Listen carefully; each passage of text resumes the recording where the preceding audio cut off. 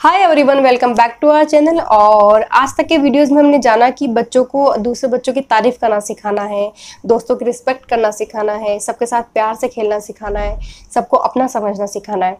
But आज का जो टॉपिक है, वो जितना सेंसिटिव है, उतना ही इम्पोर्टेंट भी। जैसा कि आप सबको पता है कि इस चैनल पर मैं अपना पर्सनल एक्सपीरियंस शेयर करती हूँ। बच्चों की लाइफ में आने वाली प्रैक्टिकल सिचुएशन से रिलेटेड तो आज का जो वीडियो से पूरा देखना, ध्यान से सुनना, उसके पहले कमेंट्स मत करना, ठीक है? तो वीडियो स्टार्ट करते हैं।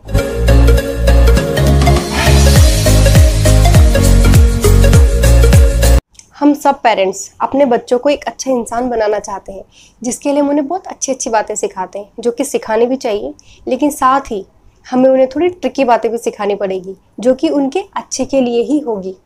इसके लिए सबसे पहले बच्चों को, लोगों को पहचानना सिखाएँ। अब क्योंकि बच्चे छोटे होते हैं तो शुरुआत भी छोटे लेवल से ही करनी होगी। इसके लिए बच्चों को सिखाएँ कि बच्चा अपने दोस्तों को, अपने क्लासमेट्स को, या पार्क में आप जिन बच्चों के साथ खेलते हो, उन्हें पहचानना सीखो कि कौन कैसा है, किसका नेचर किस टाइप का है। इसके लिए हम बच्चों को अलग अलग तरह से एग्जाम्पल्स दे सकते हैं कि जैसे मान लो किसी बच्चे ने आपको कभी कभार एक हाथ मार दिया, उसका नेचर वैसा नहीं है, लेकिन कभी कभी गुस्सा आ गया, लड़ाई हो गई, उसने आपको धक्का दे दिया, एक आध बार हिट कर दिया तो कोई बात नहीं इट्स ओके okay. आप उसका नेचर समझो कि ये वैसे नहीं मारता है बट ठीक है, कैसे न कैसे गुस्सा आ गया और इसने मार दिया तो आप उसको माफ़ कर सकते हो, उसके साथ प्यार से, दोबारा आराम से खेल सकते हो बट कभी कभी कुछ बच्चों का नेचर ज़्यादा मारपीट वाला होता है। उन्हें दूसरे बच्चों को परेशान करने में मज़ा आता है मारने में मज़ा आता है दूसरे बच्चों को चोट पहुँचाने में मज़ा आता है। आ, इसमें उनकी भी गलती नहीं होती क्योंकि बच्चों को तो हर स्टेप पे गाइडेंस की ज़रूरत होती है। बट हम हमारे बच्चों को ऐसे बच्चों को पहचानना भी सिखाएँ। क्योंकि जब मारपीट ना करने वाला बच्चा, मारपीट करने वाले बच्चे से मिलेगा, उसके साथ खेलेगा तो उससे बहुत ज़्यादा प्रॉब्लम हो सकती है। क्योंकि वो टाइम टाइम पे उसे मारता रहेगा और वो अंदर अंदर दुखी होता रहेगा, अंदर अंदर गुस्सा क्रिएट होता रहेगा। या हो सकता है कभी कभी बच्चों को समझ में नहीं आता, लेकिन हैवी फील होता रहता है। और अगर कभी बच्चे ने हमें बताना चाहा कि, मम्मा, वो ऐसे करता है और हमने ज़्यादा ध्यान नहीं दिया, हम बिज़ी थे, किसी भी रीज़न से या हमने बोल दिया कि खेल में तो सब चलता है, कोई बात नहीं। तो ऐसे में तो बच्चा बिल्कुल हेल्पलेस फील करेगा। क्योंकि अगर हम ही उसका साथ नहीं देंगे तो वो कहाँ जाएगा? या कभी ये भी हो सकता है कि हम उसका साथ देने के लिए, उससे बात करने के लिए तैयार थे, लेकिन बच्चा बता नहीं पाया। You know most of the time तो बच्चे भूल जाते हैं ये सब बताना। ऐसे में हमारी बहुत बड़ी ज़िम्मेदारी है कि हम बच्चों को इस तरह ट्रेन करें कि वो अपनी लाइफ में आने वाली अलग अलग तरह की सिचुएशंस को समझ कर हैंडल करने वाले बने। समझ भी पाएँ और हैंडल भी कर पाए। बहुत बड़ा टैलेंट है ये। क्योंकि आगे जाके उन्हें अपनी लाइफ खुद ही जीनी है। हम कब तक उनके साथ रहेंगे? कहाँ कहाँ उनके साथ रहेंगे? नहीं रह सकते ना? बल्कि अभी भी जब वो स्कूल जाते हैं, दोस्तों के साथ पार्क में खेलते हैं तो अकेले ही तो रहते हैं। ऐसे में हमें धीरे धीरे उन्हें जीवन से संबंधित इस तरह की बातें सिखाते रहना चाहिए। अब मान लीजिए हमारा बच्चा अच्छा बच्चा है, वो लड़ाई झगड़ा नहीं करता है, मारपीट तो बिल्कुल नहीं करता है। लेकिन कोई ऐसा बच्चा है जिसे मारपीट करने में बहुत आनंद आता है यू you नो know? तो वो जब तब हमारे बच्चों को मारता रहता है हम सामने नहीं है चाटा मार दिया खेल रहे हैं धक्का मार दिया यू you नो know, उसे मज़ा आता है मारने में। और हमने हमारे बच्चों को सिखाया हुआ है कि बेटा अच्छे बच्चे लड़ाई झगड़ा नहीं करते किसी को मारते नहीं है तो वो तो वैसा ही करेगा। तो अच्छा बच्चा तो वो बन गया लेकिन इस अच्छाई का उसे फ़ायदा हुआ या नुकसान?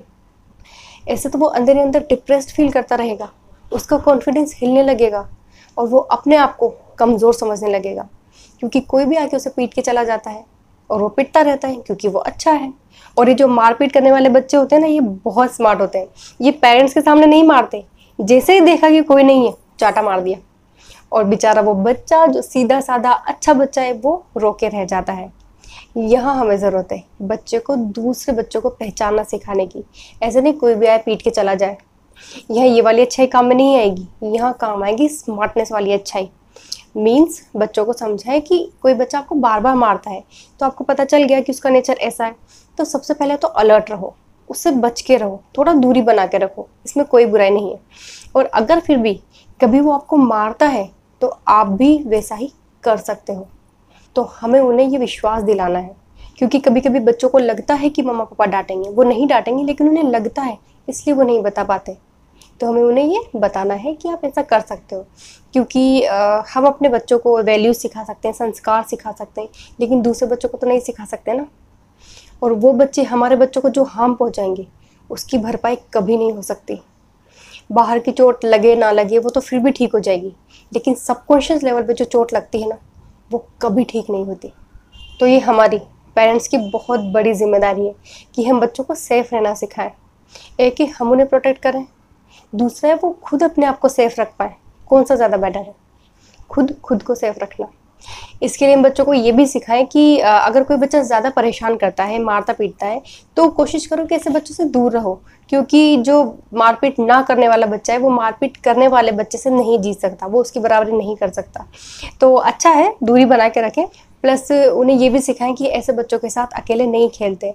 आ, कोशिश करो कि मम्मा पापा साथ हो या किसी बड़े की देख रेख में खेलो ताकि फालतू में आ, पड़े।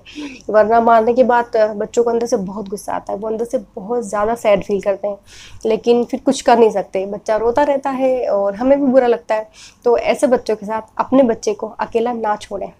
नेक्स्ट बात जो हमें बच्चों को सिखानी है वो ये कि अगर आपको किसी बच्चे का पता है कि वो मारता पीटता है झगड़ा करता है धक्का देता है तो अगर कभी वो आपको मारता है तो आप भी बराबर से जवाब दे सकते हो। ये हमें बच्चों को सिखाना पड़ेगा। आई नो ये थोड़ा मुश्किल होता है इस तरह की बातें सिखाना बड़ा अजीब लगता है। uh, और हो सकता है आप में से कुछ पेरेंट्स मेरे साथ अग्री ना भी करें बट यही पेरेंटिंग है। हमें बच्चों को हर तरह की शिक्षा देनी होगी। उन्हें मज़बूत बनाना होगा।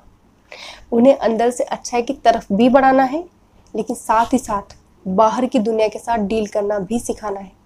अगर हम उन्हें ये सब नहीं सिखाएँगे तो हम बहुत बड़ी गलती कर रहे हैं। फिर हम उन्हें अधूरी शिक्षा दे रहे हैं, क्योंकि हम इस सच्चाई से मुँह नहीं मोड़ सकते कि लाइफ में उन्हें हर तरह के लोग मिलेंगे। भोलेपन का फ़ायदा उठाने वाले लोग मिलेंगे, टांग खींचने वाले, मज़ाक उड़ाने वाले, अच्छाई का फ़ायदा उठाने वाले। तो इन सब के लिए भी तो हमें उन्हें तैयार करना होगा। एक और बात जो हमें बच्चों को टाइम टाइम पे कहते रहना चाहिए कि बच्चा, मैं आपके साथ हूँ।